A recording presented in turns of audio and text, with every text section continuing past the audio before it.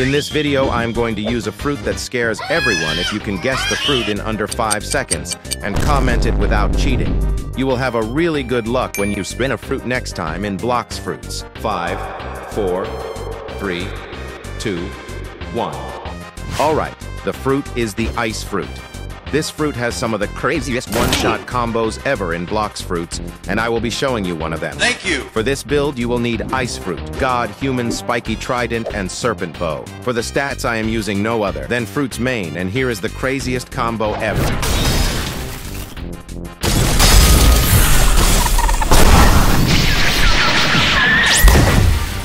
Wow! This build looks too good to be true. Let's test it in real PvP and make sure to watch till the end.